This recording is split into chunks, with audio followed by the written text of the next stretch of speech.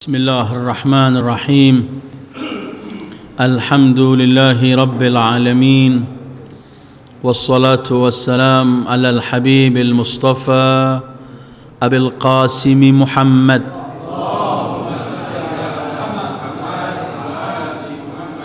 اللهم صل على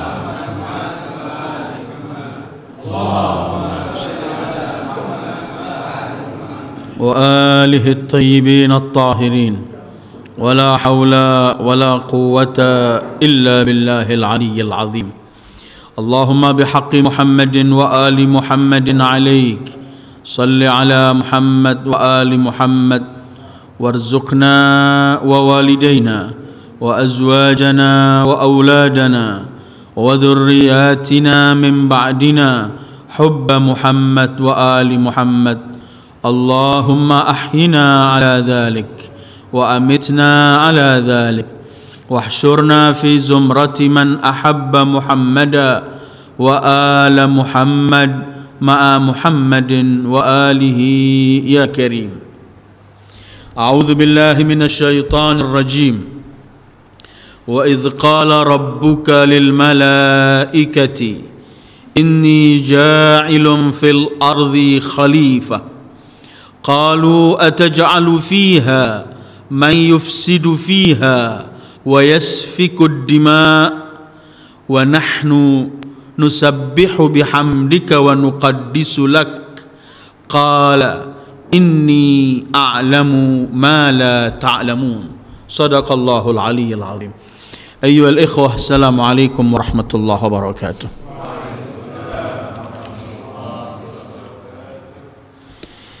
Setelah dua pertemuan kita berhenti pada ayat ke-30 surat Al-Baqarah ini. Pertemuan pertama kita membicarakan berkaitan dengan para malaikat Allah. Siapakah mereka itu dan sifat-sifat mereka dalam Al-Quran. Pertemuan kedua minggu yang lalu kita bicarakan berkaitan dengan khalifah. Bagaimana manusia dilantik oleh Allah menjadi khalifah Siapakah khalifah Allah itu? Apakah sifat-sifat khalifah dalam Al-Quran itu? Berapa kali Allah menyebut kalimat khalifah dengan mufrad dan khalaif dengan jamak? Minggu yang lalu telah kita bicarakan berkaitan dengan khalifah. Maka malam ini, sebelum kita teruskan ayat ini, yang masih banyak berkaitan dengan cerita manusia pertama Abu Adam alaihi wa ala nabiyyina wa alihi salatu wassalam. Malam ini ingin kita berhenti sejenak pada akhir ayat dalam surat Al-Baqarah ayat ke-30 yaitu kita akan berhenti dengan firman Allah ketika para malaikat mereka berkata wa nahnu nusabbihu bihamdika wa nuqaddisu lak kita akan berhenti sejenak berkaitan dengan tasbih para malaikat dan tasbih selain malaikat tasbih seluruh makhluk Allah. Apakah tasbih itu? Dan siapa saja yang bertasbih kepada Allah menurut Al-Quran itu sendiri. Kita akan berhenti dalam firman Allah wa nahnu nusabbihu bihamdika wa nuqaddisu lak Kemudian kita akan berhenti sejenak dengan firman Allah qala inni a'lamu ma la ta'lamun.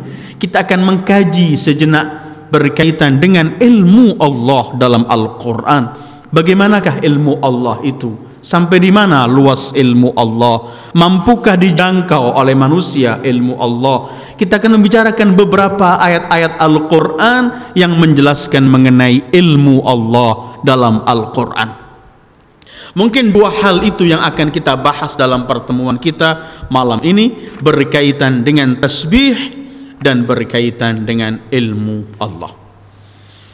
Apabila kita membaca ayat Al-Quran, kita menemukan bahwa segala sesuatu di wujud ini, di jagat ini selalu bertasbih kepada Allah. Apa pun yang ada di jagat ini semuanya bertasbih dan ayat-ayat yang menjelaskan mengenai tasbihnya para malaikat, tasbihnya seluruh makhluk Allah itu Allah gambarkan dalam beberapa ayat yang akan kita baca.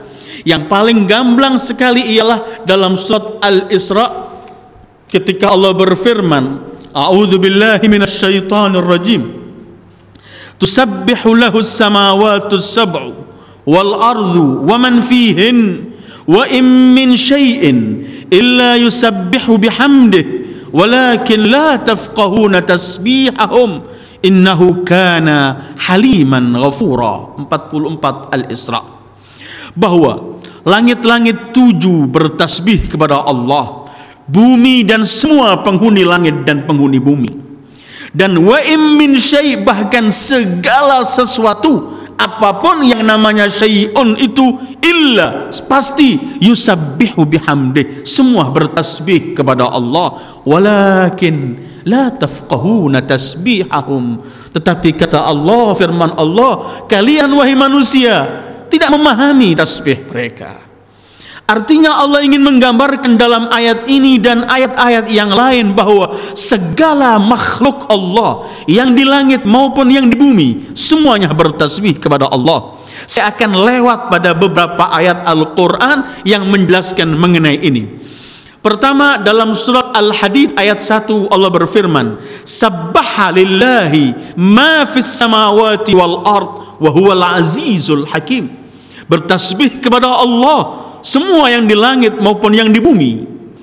Kemudian kita menemukan Al-Hasyr ayat 1. Sabbahalillahi ma fis samawati wa ma fil ardi wa huwal azizul hakim. Kita menemukan dalam surat Al-Hasyr 24 yusabbihu lahu ma fis samawati wal ardi wa huwal azizul hakim. Yang tadi pakai fi'il mudhari' yang sekarang pada pakai madhi dan yang ini pakai fi'il mudhari karena tasbih kepada Allah ini mutlak. Sebelum ada manusia makhluk-makhluk ciptaannya sudah bertasbih. Ketika manusia diciptakan manusia pun bertasbih. Kapan? Sepanjang kehidupan. Selagi masih ada kehidupan masih ada tasbih. Yusabbihu lillahi ma fis samawati wal ard wa huwal azizul hakim صف آيات ساتو. سبح لله ما في السماوات وما في الأرض وهو العزيز الحكيم.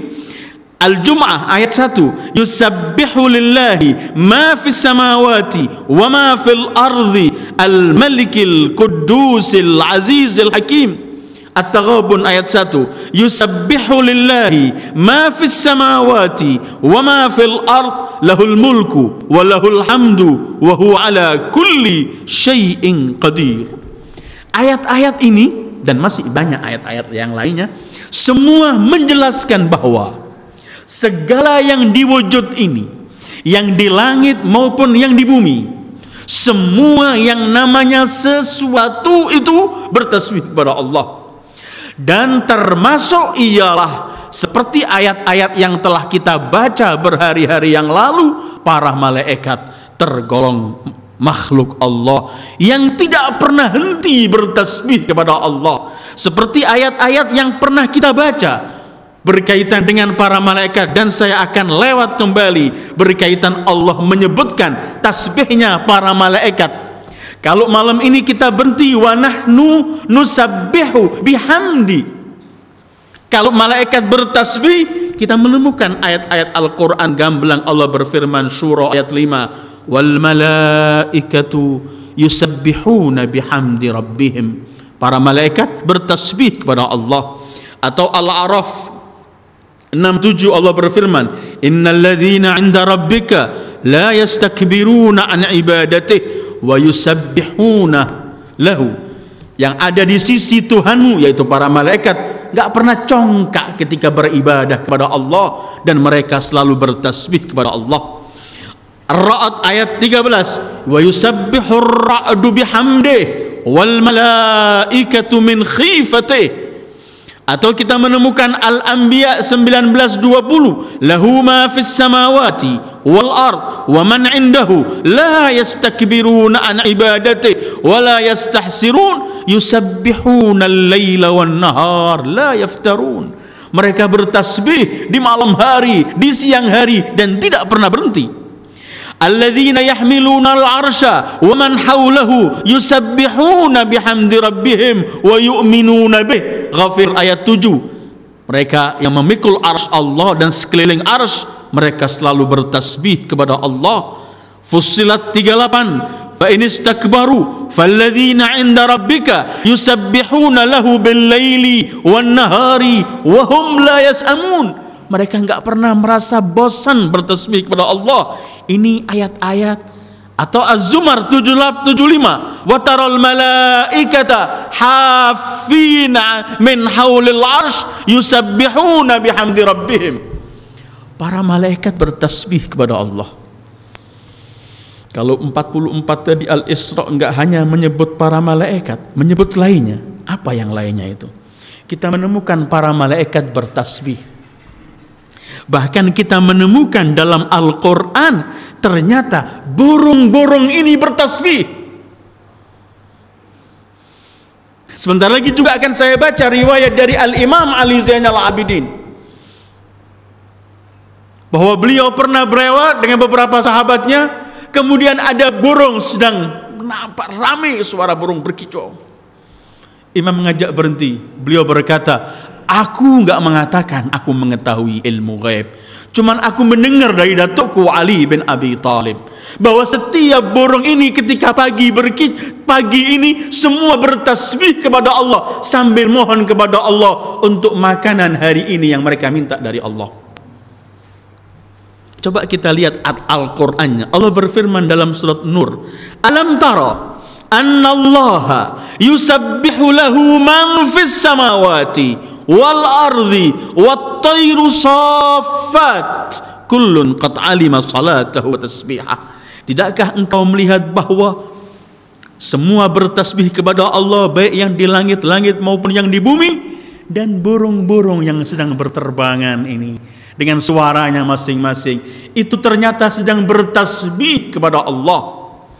Ini kita menemukan dalam surat Nur atau kita menemukan dalam ayat-ayat lain Sabah ayat 10 Walaqad atayna Dawuda minna fadla Ya jibal awibi ma'ahu at-tair Kami berikan kemuliaan kepada Dawud ketika Dawud bertasbih. Gunung-gunung ikut bertasbih dengan Dawud Dan burung-burung pun ikut bertasbih.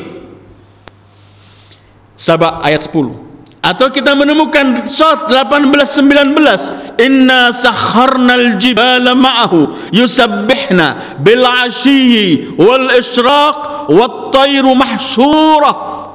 Kullun lahu awab kami jadikan, kami lunakkan, kami mudahkan, kami berikan wewenang kepada Daud sehingga Daud ketika bertasbih di pagi hari maupun di sore hari gunung-gunung ikut bertasbih, burung-burung ikut bertasbih dengan Ibrahim dengan Daud alaihissalam. Tadi kan menyebut malaikat, burung, gunung. Ayatnya gunung banyak selain tadi itu. Yusabbihna jibal atau kita menemukan al-anbiya wa sakharna ma'a Dawud al-jibal yusabbihna. Kami jadikan bersama Daud gunung-gunung bertasbih atau kita menemukan eh, seperti tadi walaqad ataina Dawud minna fadla ya jibal awibi ma'ah hei gunung ikutlah bertasbih pada Daud para malaikat burung-burung gunung petir. Yang kita kadang-kadang di musim hujan menyaksikan ini bertasbih kepada Allah dan inilah Al-Quran gamblang menyebutkan A'udzubillahi minasyaitonir rajim Yusabbihur ra'du bihamdih. Kita lihat seperti ya kejadian pertemuan antara awan dengan awan bagaimana kemudian mengeluarkan cahaya dan suara. Tetapi itu sebenarnya bertasbih kepada Allah.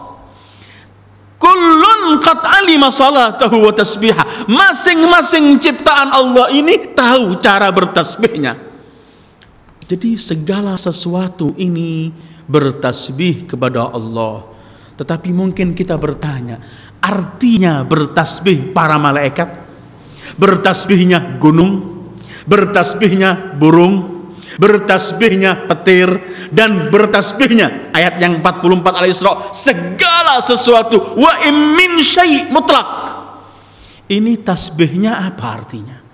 Apakah tasbih itu diartikan kalau kita melihat segala sesuatu ini, lihat burung, lihat gunung, lihat petir, lihat segala makhluk Allah, mengingatkan kita kepada Allah, baru kita berkata subhanaka ya Rabb, ma khalaqta hadza batila. Apakah makhluk-makhluk ini kalau kita melihat mengingatkan kita untuk bertasbih?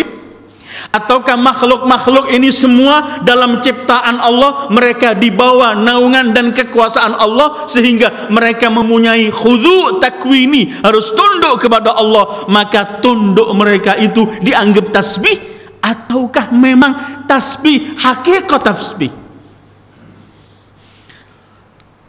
Yang kita pilih pendapat ketiga ini hakikat tasbih dengan cara masing-masing karena segala makhluk Allah ini bertasbih berarti seluruh makhluk Allah ini mempunyai his dan idrak perasa karena dan mengetahui bahwa ada pencipta penciptanya itu adalah Allah. Jadi kalau burung bertasbih bukan cuman kalau kita melihat burung kita ingat Allah tidak. Bukan cuman karena burung ini makhluk Allah dia sadar kalau ada penciptanya tidak, tapi memang hakikat burung itu bertasbih dengan bahasa bahasa burung dengan cara burung di alam burung.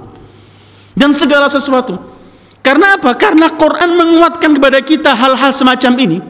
Quran gamblang sekali menjelaskan kepada kita bahwa segala makhluk Allah ini memiliki rasa bisa dalam sekop alamnya. Kalau itu cuman mengingatkan kita untuk bertasbih kalau itu cuman bahwa makhluk-makhluk itu dibawa ketentuan Allah maka sehingga mereka yang meyakini ada penciptanya tidak ada artinya firman Allah walakin la tafqahuna tasbihahum. Allah gamblang menyebutkan segala sesuatu bertasbih cuman kamu wahai manusia nggak faham tasbih mereka. Jangan kita berbicara makhluk lain. Urusan nggak memahami tasbih. Kita sesama manusia hidup di dunia ini, berapa bahasa yang ada di dunia ini. Kalau Anda di sebelah Anda, orang bertasbih kepada Allah, bermunajat kepada Allah dengan bahasa yang Anda tidak fahami, jangan Anda berkata orang ini nggak bertasbih karena cuma Anda nggak memahami tasbih dia. Ada orang bertasbih dengan bahasa Mandarin. Ketika Anda dia bertasbih, Anda nggak faham ketidakfahaman kita bukan menunjukkan dia tidak bertasbih dan semacam itu bahasa-bahasa yang lain. Begitu juga dalam semua wujud ini bertasbih cuman Allah berfirman dengan bahasa mereka dengan cara mereka. Cuman Allah menyebutkan walakin la tafqahuna tasbihahum. Buktinya apa? Allah menceritakan pada kita banyak makhluk-makhluk selain manusia dan semua ini. Mereka mempunyai perasaan dan hidup mampu Bukankah salah satu yang dibanggakan oleh Nabi Sulaiman dan harus dibanggakan karena mukjizat yang Allah berikan bahwa Sulaiman itu diberi oleh Allah kekuasaan untuk memahami bahasa burung. Bukankah Allah berfirman berkaitan dengan Sulaiman, "Wa waritha Sulaiman Dawud wa qala ya ayyuhan nas, ulimna mantiqat tayr." Sulaiman mendapatkan warisan dari Daud kemudian dia berkata, "Hei manusia, kami diberi oleh Allah diberi ilmu memahami bahasa burung. Pernah nggak membaca cerita dalam Al-Quran kalau Sulaiman pernah berdialog dengan burung? Burung itu namanya hud-hud Ketika Allah gamblang menyebutkan berkaitan dengan hudhud bagaimana Sulaiman berbicara Allah berfirman wa tafaqqadat tayr faqala ma li la ara al hudhud am kana min al ghaibin la u'adzibannahu 'adaban shadida aw la azbahannahu aw la ya'tiyanni bi sultanin mubin famakatha ghayra ba'id faqala ahattu bima lam tuhid bih wa ji'tuka min saba'in binaba'in yaqin. Kata Sulaiman mana aku nggak melihat burung hudud? Keluar tanpa izin. Akan kusiksa dia. Atau kalau datang dengan membawa alasan. Gak lama datang burung hudhud tinggal dari jauh. Dia berkata, aku telah sampai di tempat yang kamu belum sampai, wahai Nabi.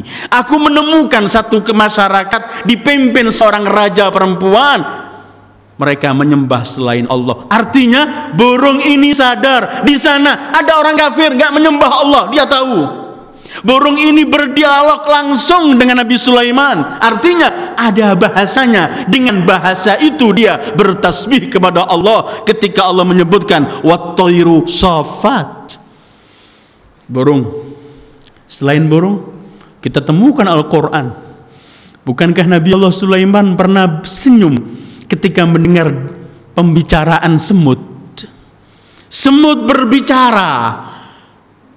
Kepalanya ini menginstruksikan kepada semua semua hati-hati cepat-cepat minggir Sulaiman akan jalan nanti mereka nggak tahu kalian diinjak akhirnya Nabi Allah Sulaiman senyum artinya punya bahasa menurut Al-Quran coba kita dengarkan bersama bagaimana Sulaiman berbicara dengan semut ketika Allah berfirman dalam An-Naml Ya ayyuhan naml udkhulu masakinakum la yahtimannakum Sulaiman wa junuduh wa hum la yash'urun فتبسم ضاحكا من قولها وقال ربي أوزعني أن أشكر نعمتك التي أنعمت علي وعلى والدي kata kata semut ini Hai para semut cepat-cepat masuk ke tempat kalian jangan sampai kalian diinjak-injak oleh Sulaiman dan bala tentaranya dan mereka nggak tahu kalau ada kalian ketika ini berbicara tabassama dhahika senyum Nabi Sulaiman Artinya apa? Ada bahasa yang mereka gunakan. Menurut Al-Quran, makhluk-makhluk semacam ini ternyata berbicara. Ada yang mereka ungkapkan dalam ungkapan mereka. Dan ayat-ayat semacam ini banyak dalam Al-Quran berkaitan dengan makhluk-makhluk Allah yang lain.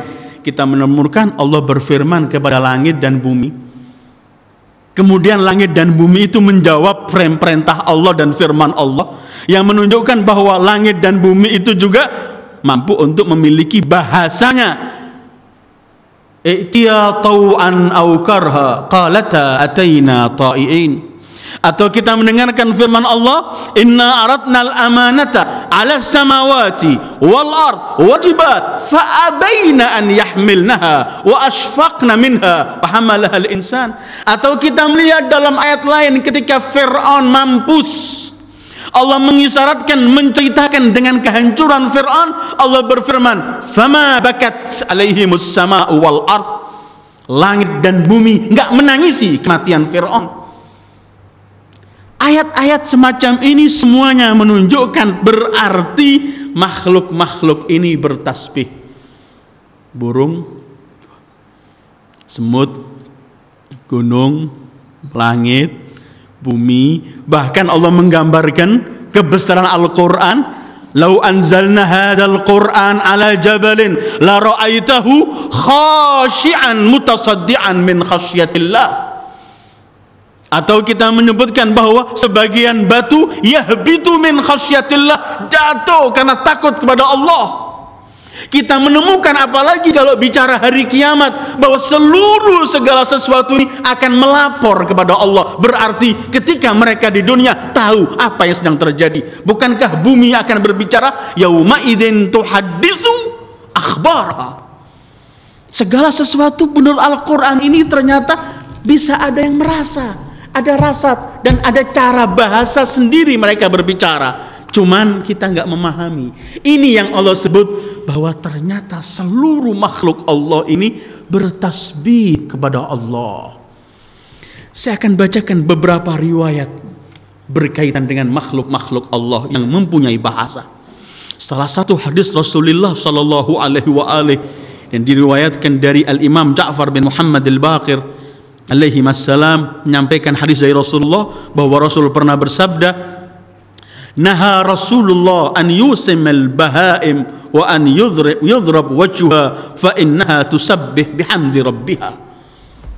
Rasulullah melarang kalau binatang ditindih atau dimukuli wajahnya karena binatang sebenarnya sedang bertasbih kepada Allah. Atau juga kita mendengarkan hadis dari Rasulullah bahkan ini dalam Durrul Mansur Tafsirul Mansur. Rasul pernah menyebutkan inna namla yusabbihna. Semut-semut ini kalau kita lihat sepintas jalan bertemu berhenti sedang bertasbih kepada Allah. Nasai meriwayatkan hadis an Rasulullah. Rasul pernah bersabda, "Naha Rasulullah an qat'idh dhifda faqala na'iquha tasbih."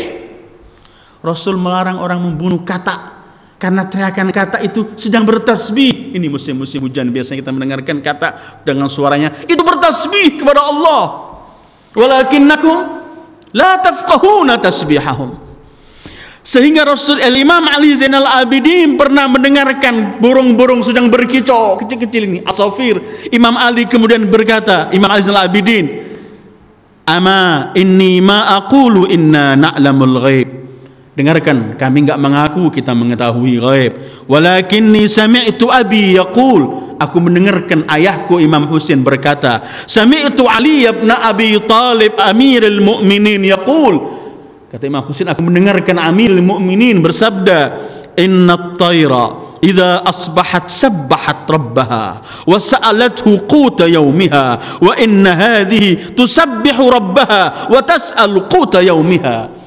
bahwa burung-burung setiap pagi bertasbih kepada Allah dan mohon kepada Allah rezeki untuk makanan hari ini.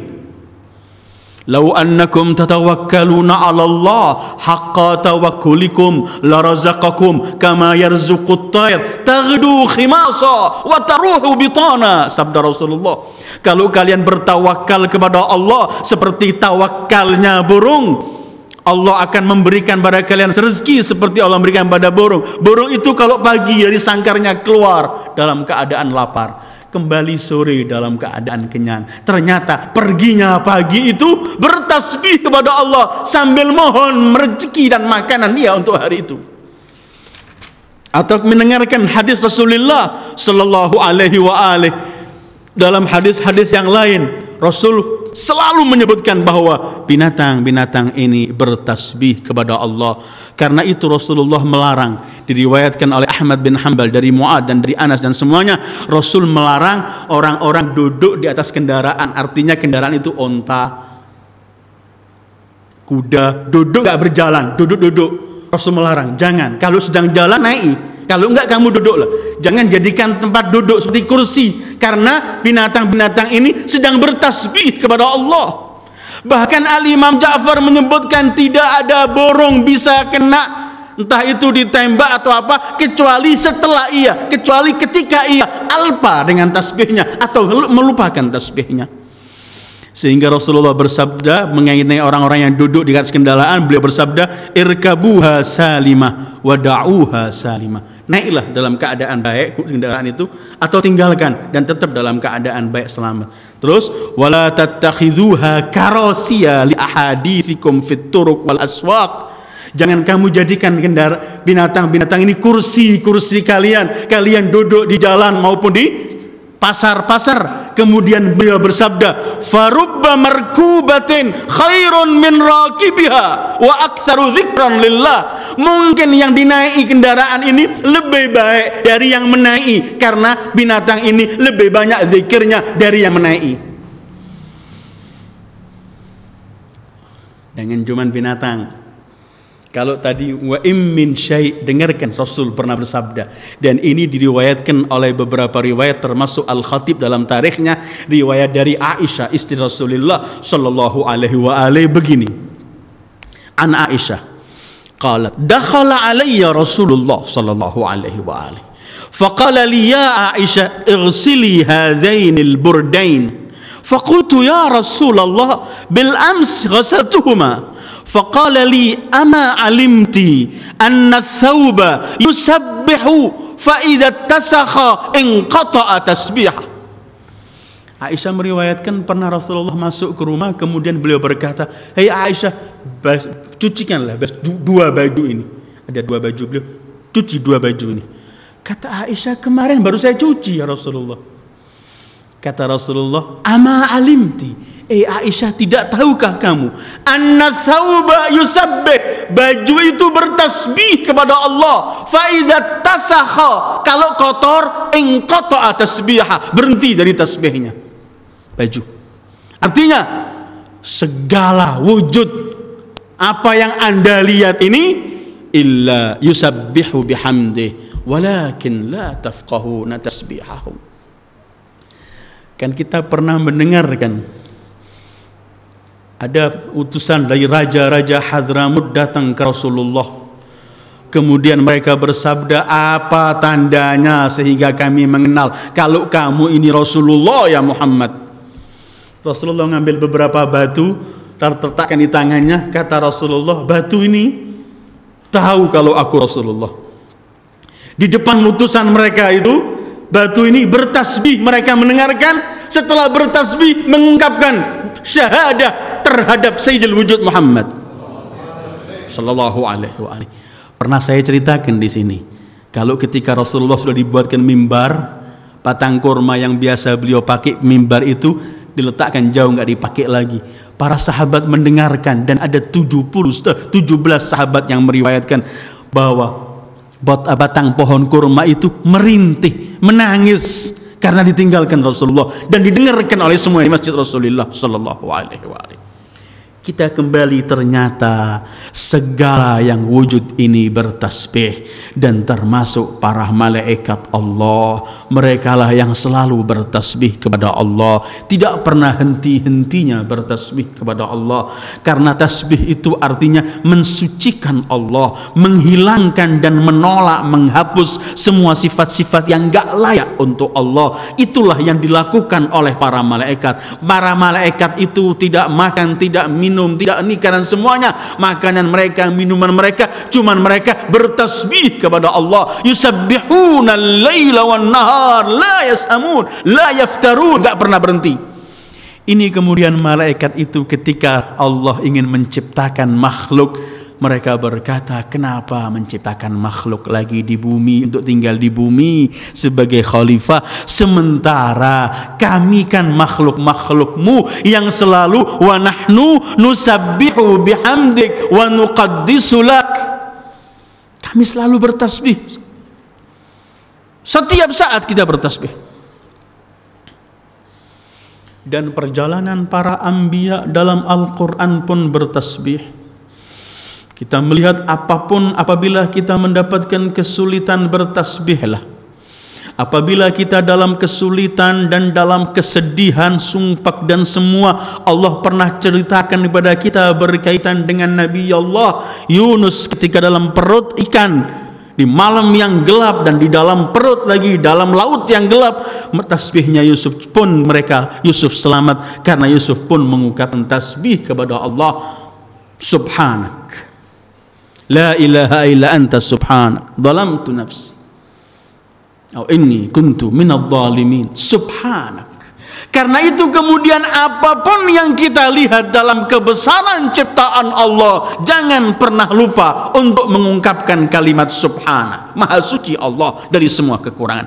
Dan ternyata seluruh makhluk Allah Karena Allah jamil Tidak menciptakan makhluknya kecuali yang jamil Maka seluruh makhluk dengan cara masing-masing Mengakui keberadaan Allah Kebesaran Allah Dan menghilangkan Menolak semua sifat-sifat yang enggak layak untuk Allah. Karena itu seluruh makhluk Allah wa im min syai'in illa yusabbihu bihamdih walakin la tafqahuna tasbihahu kita pernah saya ceritakan dalam satu cerita mungkin masih ingat ketika Nabi Allah Sulaiman menyaksikan semut binatang kecil bergegas cepat-cepat menuju ke tepi laut ke tepi sungai atau ke tepi laut.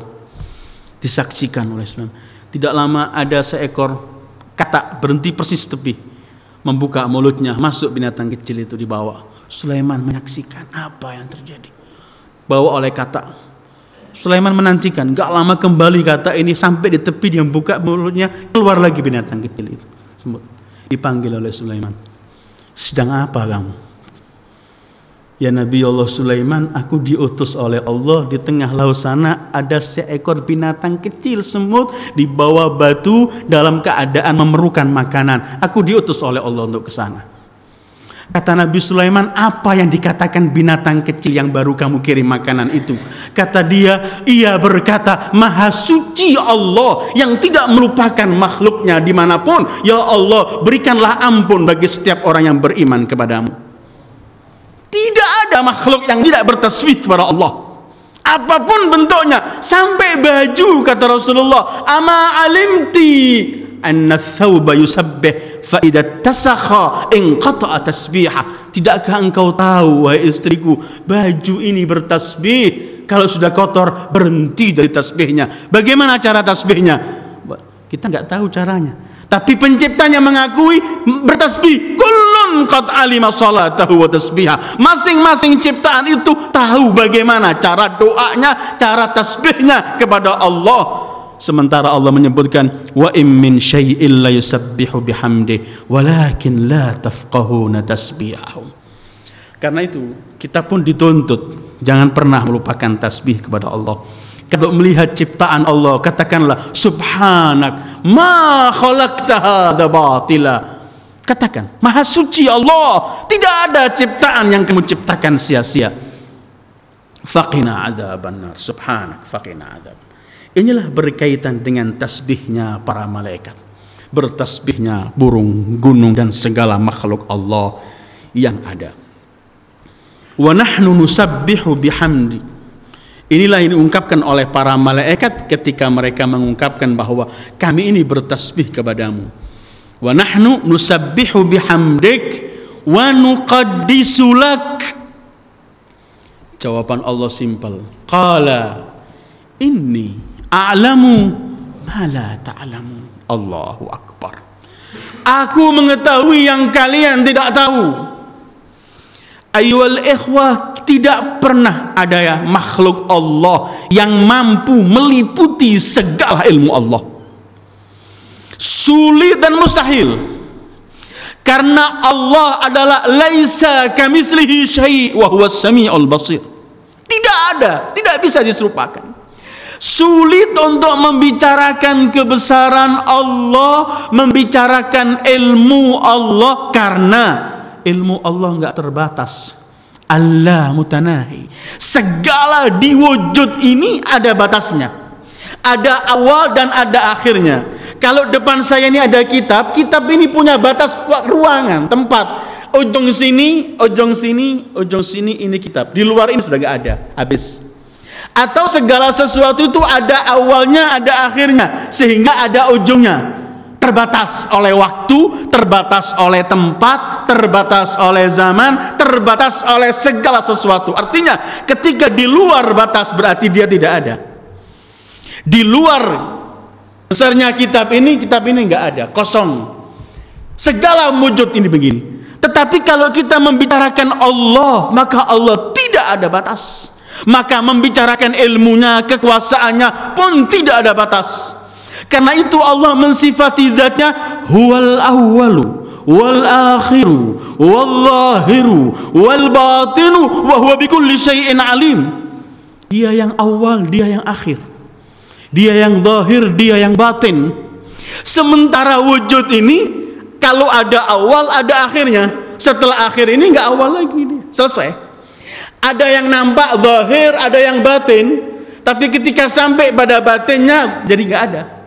Kecuali Allah. Karena Allah nggak terbatas sehingga tidak ada awal dan akhir. Tidak ada yang akhirnya.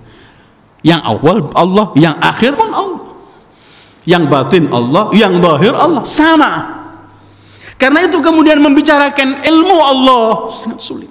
Tetapi ada beberapa hal yang kita lihat dalam Al-Quran Allah membicarakan mengenai kebesaran ilmu Allah, luasnya ilmu Allah sebagai Allah ingin menunjukkan semampu kita pikirkan dan sebenarnya wala yuhituna bi syai'in min ilmihi illa bima Tidak pernah akan mampu orang menghitung. Karena enggak terbatas sehingga tidak mampu dijangkau. Karena itu kemudian kita menemukan firman Allah, "Laisa kamitslihi syai'." Laisa kamitslihi. Sehingga ketika Allah menamakan dirinya zatnya wahid pun tidak wahid yang berarti bilangan sehingga ada satu ada duanya tidak. Kalau ada bilangan ada batas. Berapapun kita letakkan pasti ada batasnya. Tetapi karena itu ada beberapa ayat Al-Quran Allah ketika menyebutkan zatnya wahid ditambahi dengan sifat yang lain. Al-wahidul qahar. Arti kohar di sini yang menekan, memaksa, yang menguasai dan semuanya. Artinya bukan dalam bilangan. Karena itu membicarakan, tapi ada yang harus kita fahami bahwa ilmu Allah terhadap sesuatu itu mengetahui sesuatu sebelum diciptakan dan mengetahui sesuatu itu setelah diciptakan. Ilmu manusia itu ialah membicarakan yang telah ada tetapi yang dimiliki oleh Allah karena tidak terbatas maka ya'lamul asya' qabla ijadiha wa ba'da ijadiha. Karena itu ada beberapa ayat Quran Allah mensifati ilmunya. Allah berfirman dalam surat Al-An'am 59. Wa indahu mafatihul ghaibi la ya'lamuha illa hu wa ya'lamu ma fil barri wal bahr wa ma tasqutu min waraqatin illa ya'lamuha wa la habatin fi dhulumatil ardh wala ratbin wala yabisin illa fi kitabim mubin. Ada bagi kunci-kunci ilmu gaib hanya ada pada Allah dan enggak diketahui kecuali Allah. Allah mengetahui apa yang di darat dan yang di laut. Allah maha mengetahui apa daun-daunan yang jatuh. Allahu Akbar Allah mengetahui apa pun yang sekecil apa pun dalam kegelapan dunia dan bumi ini. Tidak ada yang basah maupun yang kering dari tumbuh-tumbuhan dan semuanya apa pun jenisnya illa fi kitabim mubin. Kecuali ada dalam catatan Allah dan dalam ilmu Allah. Karena itu ketika Allah mensifati kitabnya, ilmunya, tempat kitabnya ini bermacam-macam. Kadang-kadang menyebut kitabnya itu lauhil mahfud. Bal huwa Qur'anum majid fi lauhin mahfud. Kadang-kadang mensifati tempat gudang ilmunya itu dalam kitab mastur. Fi kitab wa, kitabim mastur fi raqqin mansyur. Tercatat. Kadang-kadang dalam kitab mubin seperti ini, wala ratbin wala yabisin illa fi kitabim mubin, gamblang bagi Allah. Kadang-kadang mensifati dalam kitab maknun, tersembunyi seperti kita membaca dalam waqi'ah innahu laqur'anun karim fi kitabim maknun. Kadang-kadang Allah menyebutkan al-kitabil hafid atau kitabin hafid terjaga segala sesuatu di situ. Seperti firman Allah dalam surat Qaf, "Qad alimna ma tanqusul ard minhum wa indana kitabun hafid." Kadang-kadang disebut al-imamul mubin. Bukan kitab tapi imam wa kullu syai'in ahsaynahu fi imamin mubin. Ada disebut oleh Allah tempat gudang ilmu Allah ini ummul kitab. Ketika kita mendengarkan firman Allah dalam Zukhruf ayat 4 ketika membicarakan Quran dan prosesnya wa innahu fi ummil kitabi ladaina la aliyun hakim atau kadang-kadang Allah menyebutkan berkaitan tempat ilmu Allah ini dalam lauh mahwal ithbat. Yang menghapus atau menetapkan. Seperti firman Allah yamhullahu ma yasha'u wa yuthbitu wa indahu ummul kitab. Ilmu Allah. Apa yang tidak ada? Segala sesuatu ini dalam pengetahuan ilmu Allah seperti Allah berfirman dalam Ali Imran, "Qul in tukhfu ma fi sudurikum aw tubduhu ya'lamhu Allah wa ya'lamu ma fis samawati wa ma fil ard." Kalian mau ungkapkan, rahasiakan di hati kalian atau kalian ungkapkan dengan jelas semua sama diketahui oleh Allah. Wa asirru qaulakum aw ijharu bih. Rahasiakan ungkapan kalian. Atau ungkapkan dengan lantang. Innahu alimun bidzatis sudur. Sama bagi Allah. Karena Allah berfirman dalam ayat lain wa in tajhar bil qaul fa innahu ya'lamu sirra wa akhfa.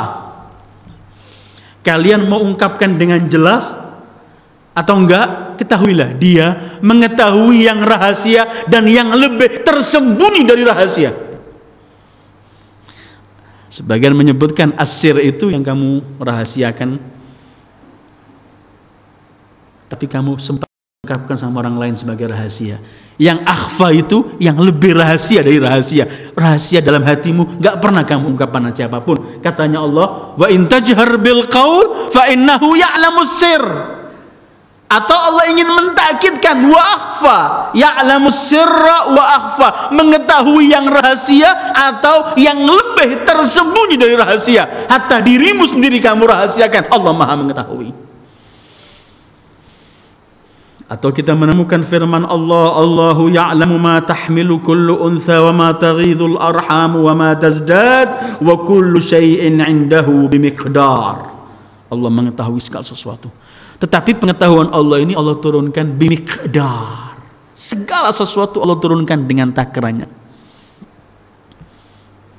Khazainnya ada pada Allah, tapi diturunkan dengan ketentuan yang sesuai. Atau kita menemukan firman Allah, "Walaqad khalaqnal insana wa na'lamu ma tuwaswisu bihi nafsuh wa nahnu aqrabu ilaihi min hablil warid." Kami yang menciptakan manusia dan kami mengetahui apa yang sedang terlintas di hatinya karena kami lebih dekat darinya daripada urat nadinya Gak ada yang disembunyikan bukan cuma dekat tapi di hati kita itu ada Allah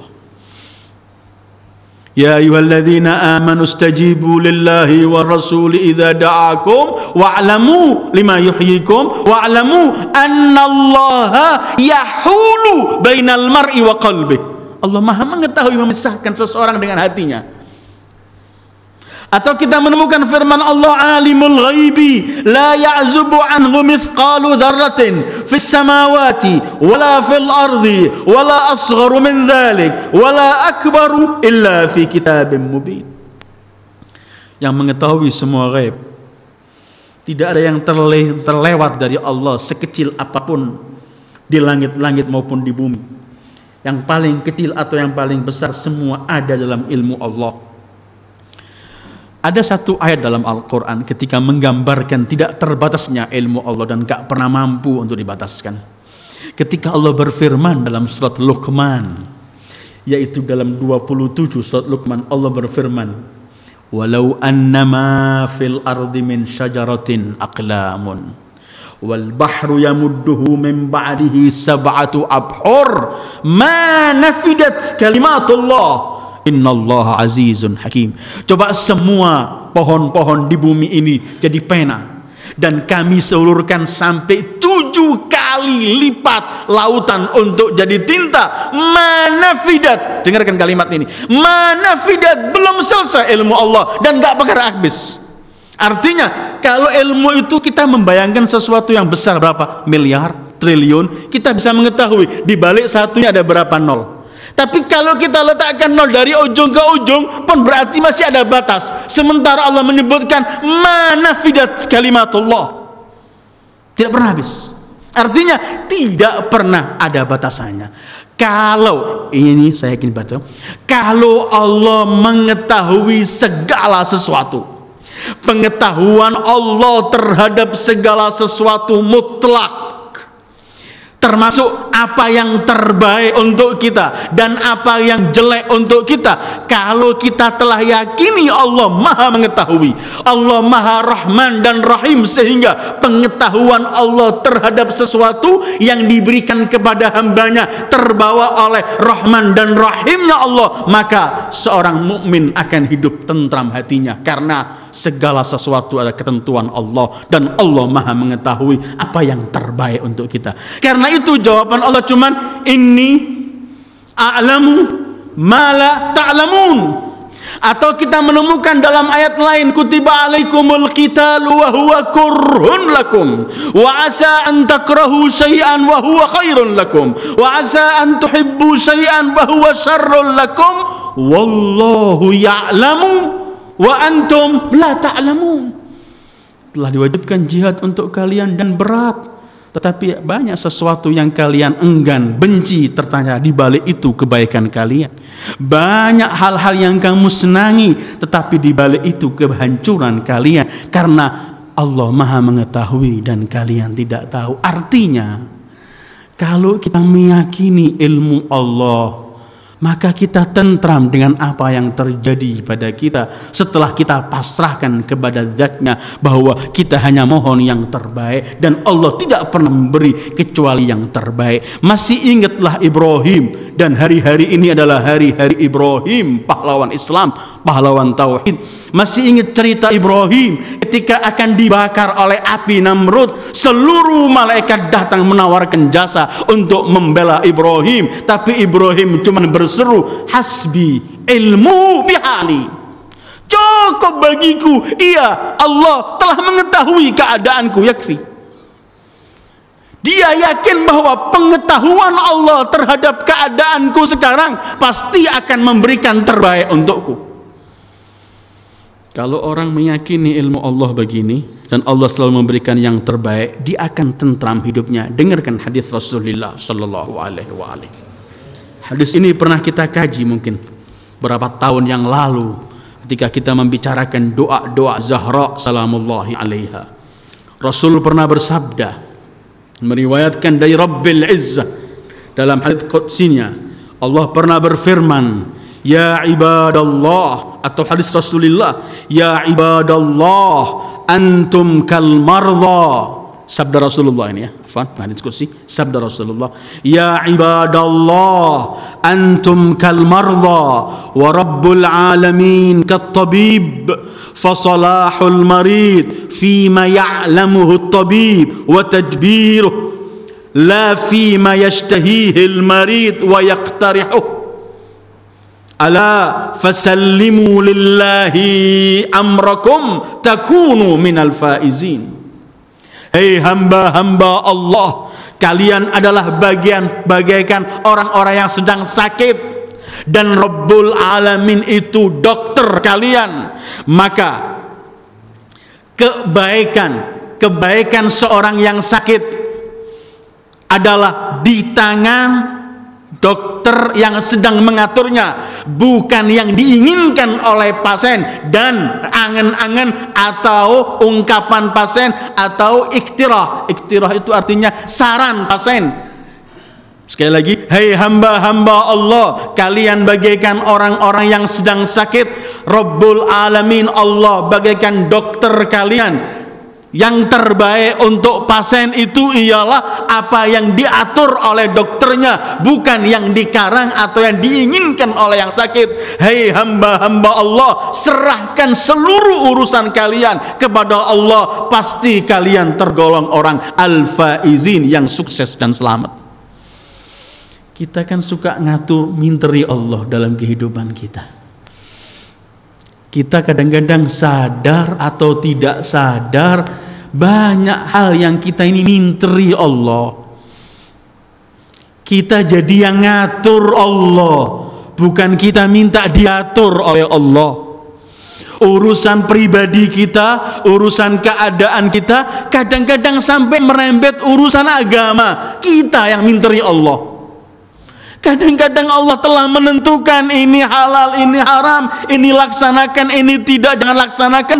Kita mulai mengarang-ngarang. Ini mungkin hanya waktu tertentu, ini sudah enggak layak lagi, ini sudah-sudah. Kita yang suka meminta ya Allah. Sehingga dalam surat Hujurat Allah berfirman, Qul atu'allimun Allah bidinikum. Wallahu ya'lamu ma fis samawati wa ma fil ard.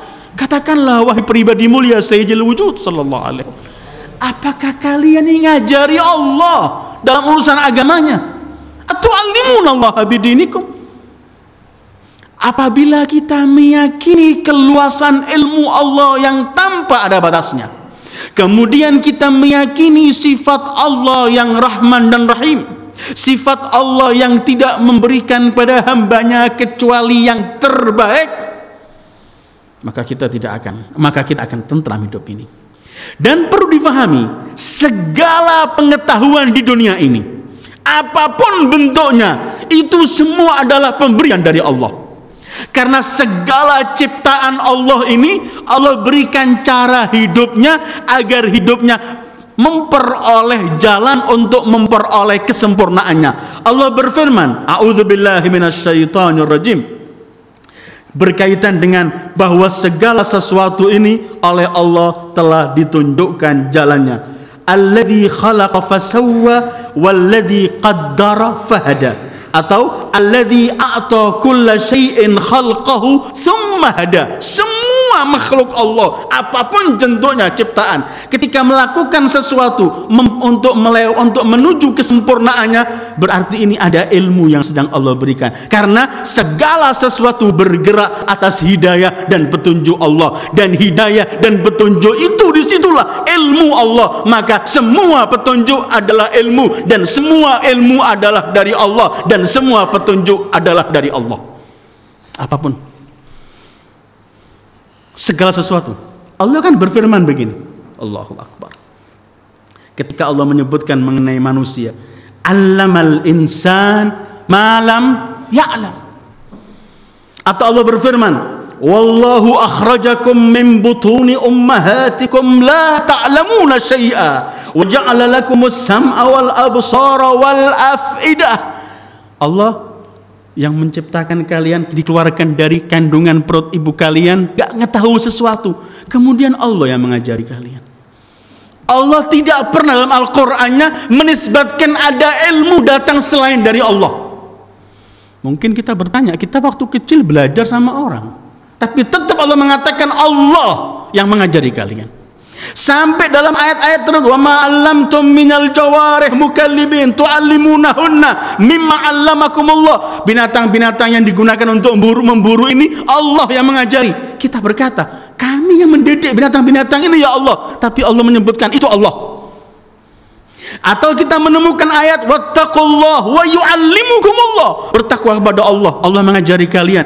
Ya Allah kita belajar dengan guru, dengan kitab, dengan semuanya. Tapi tetap Allah menyebutkan Allah yang mengajari kalian. Atau kita menemukan ayat dalam ayat den, ayat terpanjang Al-Quran. Wala ya'ba katibun an yaktuba kama allamahullah. Jangan enggan menulis seorang menulis perjanjian utang seperti yang diajarkan oleh Allah. Orang bertanya, saya ini belajar dari orang lain menulis. Tapi Allah menyebutkan allamahullah karena segala sesuatu apa pun bentuknya ketika ingin sampai pada puncak yang Allah ciptakan ia agar sampai pada puncak kesempurnaan itu artinya semua itu petunjuk dari Allah. Dan setiap petunjuk adalah ilmu dari Allah. Atau itu bersama ilmu dan setiap ilmu itu adalah hidayah dari Allah. Allamal insana malam karena itu ketika Allah Mungkin suatu hari kita akan sampai ketika dua anak Adam berkelahi itu. Ketika satu membunuh, Qabil membunuh saudaranya. Belum tahu bagaimana cara menguburkan mayat. Allah mengutus binatang yang namanya burung gagak. Faba'athallahu ghuraban yabhathu fil ard liyuriyahu kaifa yuwari sawat akhi. Allah ajarkan anak ini dengan cara mengutus ini bukan terjadi begitu, tapi inilah alam sebab musabab, tapi semua penentunya Allah, Allah mengajari melalui sini. Dan karena itu silahkan baca ayat-ayat Quran Selalu Allah nisbatkan segala wujud ini ada bagi Allah Walaupun kita mempercayai ada alam sebab musabab Tapi semua penentunya adalah Allah Allahu khaliqu kulli syai Dan Allah alimun bi kulli syai Dan Allah hadi ila kulli syai Allah yang beri petunjuk pada kesempurnaan ini Ayol ikhwah malam ini kajian kita berkaitan dengan tasbih dan berkaitan sedikit dengan ilmu Allah yang harus kita yakini keluasan ilmu Allah. Kemudian kita pasrahkan segala sesuatu kehidupan kita dalam pengawasan ilmu Allah karena Allah enggak memberikan kecuali yang terbaik. Wa sallallahu ala khairi khalqih sayyidil wujud Muhammad sallallahu alaihi wa